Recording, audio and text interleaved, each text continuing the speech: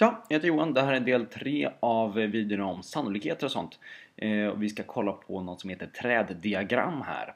Eh, för att göra det så tänkte jag ta lite påhittad fotbollsstatistik. Det här är EM-tider när jag spelar in den här videon. Eh, och Sverige är i samma grupp som Ukraina, England och Frankrike. Vi har spelat mot Ukraina och England, förlorat båda matcherna. Så Sverige har ingen chans att gå vidare. Så kan det vara, men vi kan ändå ha det som räkneexempel. Eh, du ska inte tro att jag är någon fotbollsfreak. Jag är kass på fotboll. Eh, kul att titta ibland tycker jag, men inte, inte mer än så. Eh, men eh, kan ändå ta det som ett matteexempel. Varför inte? Eh, jag hittar på att sannolikheten att Sverige vinner över Ukraina när vi spelar är 70%. Det betyder att vi har 30% chans att spela lika eller förlora. Ehm, att Sverige vinner över England är 20% och Sverige vinner över Frankrike om vi spelar är 30%. Det här Eh, kanske lite optimistiska siffror, jag vet inte. Eh, och sen så är jag nyfiken på vad sannolikheten är att vi vinner två matcher av de här tre eh, som vi ska spela i gruppspelet. Nu har Sverige redan förlorat mot Ukraina och England som är utslagna, men eh, whatever. Ehm, så, det tänkte jag kolla på och för att göra så, eh, för att räkna ut det här så kommer vi göra ett träddiagram. Ehm, vi ska se. När man får sannolikheter så här i angivna procent så är det jättebra att göra om dem till decimalform. Procent är eh, förrädiska. Man kan få för sig att 20% gånger 30% är till exempel 600% och det blir helt knasigt. Eh, så gör om dem till decimalform så snart du kan. Om, om du vill får du liksom starta en Facebookgrupp för att utrota procenttecknet. Det skulle jag, jag skulle gå med och gilla den gruppen. Eh, 70% det är samma sak som 0,7. Bra. 20% det är samma sak som 0,2. 0,2 30% är samma sak som 0,3 Där! Nu ska vi se, hur kan vi räkna ut sannolikheten för att Sverige vinner två eh, av de här tre matcherna? Eh, då kommer ett trädiagram. Häng med nu. Eh, här, då, då, det är så trädiagram, man del, den delar upp sig i grenar och grejer. Vi börjar med en match mot Ukraina. Så här, Ukraina. Ina. Eh, och då kan det hända två saker som vi är intresserade av. Det ena är att vi vinner och det andra är att vi inte vinner. Observera att det här inte vinner.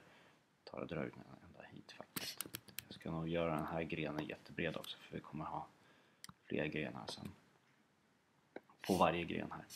Eh, observera att den här att vi inte vinner, den innehåller både att vi spelar lika och att, förlo att vi förlorar.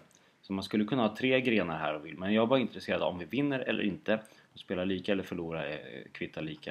Eh, när vi ska räkna ut den här uppgiften. Okej, okay. vi spelar mot Ukraina. Att vi vinner kan vi ha, här har vi vinst. Som åt det här hållet, vinst. Kan vi kalla här borta och förlust. Eller inte vinst, förlåt. Inte vinst. Eh, att vi vinner är tydligen 70% chans. Vi har 0,7. Att vi inte vinner är då 0,3% sannolikhet. Okej, okay, då har vi eh, kollat hur det går när vi spelar mot Ukraina, liksom tagit hand om den. Då ska vi ta ett steg till här. Och här spelar vi mot England. England i andra matchen. England. Eh, och då har, vi, då har vi 20% chans att vinna. Det är inte mycket. Okej, okay. eh, här har vi match mot England. Det kan gå på två olika sätt. Om vi vinner, först vinner vi mot Ukraina här och sen så spelar vi mot England. Då kan vi antingen vinna eller inte vinna. Då ser det ut så här. Eh, vinst. Och inte vinst. Inte vinst. Eh, att vi vinner mot England var tydligen 0,2% chans. 0,2 sannolikhet, alltså 20% förlåt. Att vi inte vinner är då 0,8. Det är ganska sannolikt. Vi förlorar mot Ukraina, då hamnar vi bort i den här delen av trädet. Då kan vi antingen vinna mot England efter det eller så kan vi förlora och den här delen av trädet, ni kan se att det börjar likna träd, det grenar ut sig och grenar ut sig. Den här delen kommer se likadan ut som den vi har här.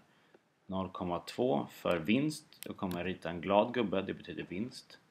Sparar lite tid. Förlust är ledsen gubbe. Förlust eller lika, det är ledsen gubbe. Då har vi 0,8% sannolikhet för. Okej, okay. då har vi två matcher som vi har tagit. Då kommer tredje matchen. Den är mot Frankrike. Frankrike. Rike. Okej, okay, och här när vi har kommit så här långt ner i trädet så kan det ha hänt fyra olika saker. Vi kan ha vunnit mot Ukraina och mot England. Vi kan ha vunnit mot Ukraina, förlorat mot England. Vi kan ha förlorat mot Ukraina, vunnit mot England. Förlorat Ukraina, förlorat mot England. Eller spelat lika. Förstås. Eh, mot Frankrike så kan det hända eh, igen. Två olika saker. Antingen vinner vi. Eller så vinner vi inte. Eh, vinner blir glad gubbe. Glad gubbe. Det börjar bli tajt om utrymme här därför börjar jag gubbar istället för att skriva. Eh, och vad är sannolikheten att vi vinner mot Frankrike? Var det 30%? Jag tror jag sa det. Ja, 30% att vi vinner mot Frankrike. Lite optimistiskt kanske, men varför inte? 0,3 0,3 Att vi inte vinner, alltså spelar lika eller oavgjort det är alltså 0,7. De här måste bli 1 tillsammans annars är det någonting knasigt och förlorat sannolikhet någonstans på vägen och världen blir bara allmänt märklig. Du vet vad vi kan göra. Alla de här kommer ju vara lika så varför tar jag inte bara kopiera de här? Så där. Kopiera. Klistra in. Där. Nu vet jag varför jag inte ska göra det för att jag... Jag blir inget bra. Äsch, blir inget bra alls. Okej, okay, bort med den då. Eh, kanske om jag gör en bättre. Jag gör så här. Där. Det går bra. kan vi spara lite tid på en dag. Mot Frankrike kan, eller mot Frankrike kan vi vinna och förlora. Vi kan vinna och förlora. Och vi kan vinna och förlora. Den där kanske blir tvungen att göra för handen då. Okej, okay, då kan vi se. I sista delen om vi förlorar mot Ukraina, förlorar mot England, då blir det deprimerande. Det är där vi är just nu i EM kan jag berätta. Så kan vi antingen vinna mot Frankrike det är 0,3 i sannolikhet för det, det vill säga 30%. Decimalform är bättre än procentform.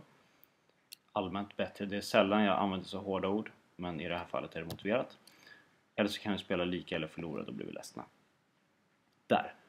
Nu har vi gjort ett träd, ett sannolikhetsträd. Ursäkta mig. Eh, där vi kan få med alla olika händelser, alla olika utfall som vi är intresserade av. Vi kan vinna tre gånger. Vinst mot Ukraina, vinst mot England, vinst mot Frankrike. Då hamnar vi här nere. Eh, då blir vi jätteglada säkert. Vi kan ha vinst, vinst, förlust, eh, vinst, förlust, vinst och massa olika saker. Och här kommer det coola. För att få fram sannolikheten för till exempel tre vinster så tar vi och multiplicerar de här sannolikheterna med varandra. Eh, om vi vinner mot England, det är 0,7 eh, 0,7 chans för det, 70% för det. Så i 0,2 av de fallen, det vill säga 20% av de fallen så kommer vi vinna mot eh, England också. Om vi, äh, om vi vinner mot Ukraina, det är 70% sannolikhet för det. Så har vi 0,2 av de fallen, två av tio fall, så kommer vi vinna mot England också. I åtta av tio fall så kommer vi inte vinna mot, mot England. Det betyder att i 0,7 gånger 0,2 fall så kommer vi vinna eh, mot både England och Ukraina. Nu ska vi se, okej. Okay. Och tar vi alla tre steg här så har vi 0,7 gånger 0,2 gånger 0,3. Då har vi tre vinster. Sannolikheten för det är 0,7 gånger 0,2. Vi kan ju skriva det här faktiskt för eh, åtminstone nu första gången. 0, oops, ska ha en vit penna på det. 0,7 gånger 0,2 gånger 0,3 lika med 7 gånger 2 det är 14 14 gånger 3 eh, det blir 42 42 tusendelar blir det här för tiondel gånger tiondel gånger tiondel det är tusendel så 0,042 4,2 procent är att vi vinner alla tre matcherna enligt, mina på, enligt min påhittade san, eh, sannolikhet. Eh, Okej, okay. det är alltså tre vinster att hamna här nere. Eh, det har sannolikheten 0,042. Att vi har vinst, det vi vill ha reda på här i slutändan det är att vi vinner två matcher. Det här kallar jag för exakt två matcher, inte att vi vinner tre matcher. Det kan man ju diskutera om det här, om det här är uppfyllt om vi vinner tre matcher också. Eh, men vi säger att inte är det just nu. Okej. Okay. Då ska vi se.